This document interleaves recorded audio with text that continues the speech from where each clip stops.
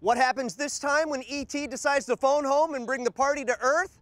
A sea battle of epic proportions. Aloha, I'm Trey Alexander in Hawaii aboard the USS Missouri, where I had a chance to catch up with the cast of Battleship.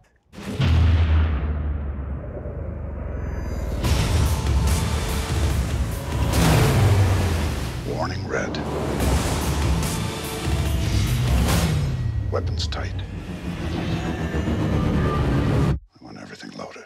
So, what do you think is setting, uh, you know, Battleship apart from a lot of the other big action popcorn movies that we've seen of late? You know, I don't know, man. I think it's a lot of fun. I really do think it has its own tone. Uh, the action is insane. Yeah. It's it's Yeah. incredible. The debris field from this is gonna cover the entire hemisphere. Think it's grounded within the action as well. And these guys truly are relatable.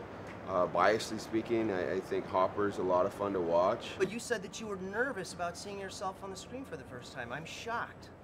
Wow, I was very nervous, and Back it was up. it was still very awkward. I mean, it was exciting, but it was kind of like you felt exposed, like everybody's seeing it, and that's it's all over now. Like it's too late. I knew that it was going to be a big action, fun summer popcorn movie. Sure. But what got me excited was Pete's an actor himself, and he spent two hours talking, to, you know, when we first met about my character and about the, the brotherhood, that relationship. Hmm. And I felt that he cared more about that than the, you know, the explosions or the aliens. I was really blown away when I saw all the effects and the aliens and CGI and all the the posts. It really blew me away. I had no idea it would look like that. We're looking at a global extinction event. What are your orders? Light them up. It felt like a lot of um, time was spent in making sure that you guys really were believable as, as um, you know, Navy Officers, commanders and officers. Yeah. Yeah, there was, and we prep. God knows we prep, man. Jeez, we were here for man weeks and weeks, and then even months before that, coming into San Diego anytime we could to sit down, be on the USS Hopper when it was out there. For me personally, uh, working with these guys that actually live uh, what I played. And uh, to be surrounded by these officers daily was awesome, and it just raises your game. I believe that, that you could walk into a room with a machine gun and blow everybody away. Thank you. You know, where'd you get the training? Where did that come from? I did most of the training on set. Uh, we did.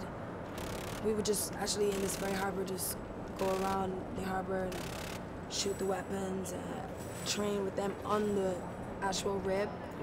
wha- Just before we would shoot the scene, so a lot of it was spontaneous. I was on tour, so I didn't really have time to rehearse with everybody else. So a lot of my training was done then. And Real bad idea, Lieutenant.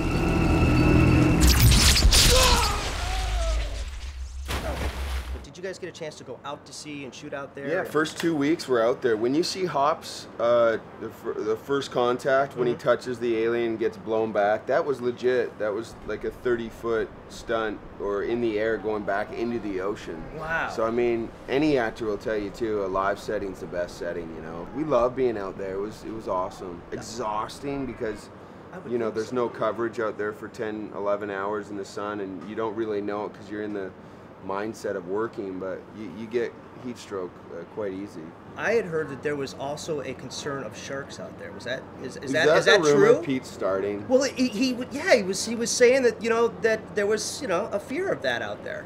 I'll we'll, we'll, we'll take it back to that stunt. I I'm heady about it, um, as anyone should or would be when you're you know you're tied to a crane that's 50 feet and you're getting thrown 30 to 40 feet into the open ocean. I literally think that there's about eight to 10 sharks waiting for that stunt to go down, knowing there's about a five to 15 second lull of me being by myself in the ocean.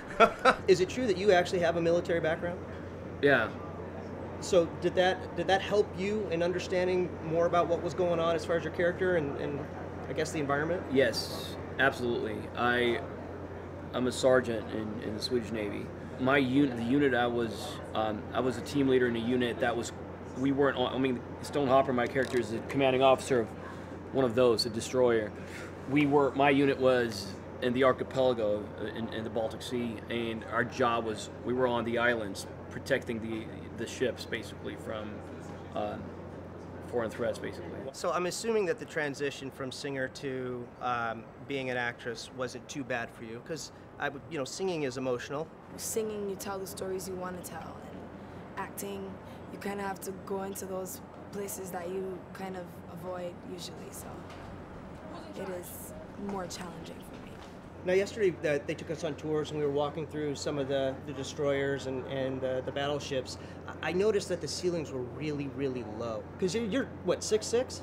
Six four. Six four. Yeah. I would think that you, your forehead would be bapping into the quarters. And, Yeah, I hit my head a lot. okay, all right, I did. so- I did. all right. And when you shoot those like action sequences, you don't really.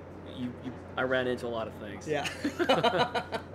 That's why I'm so stupid now. so some of those cuts were real, huh? They were. There you yeah, go. it's all real. Now, you know what I love about action movies is that every action movie always has a great one liner.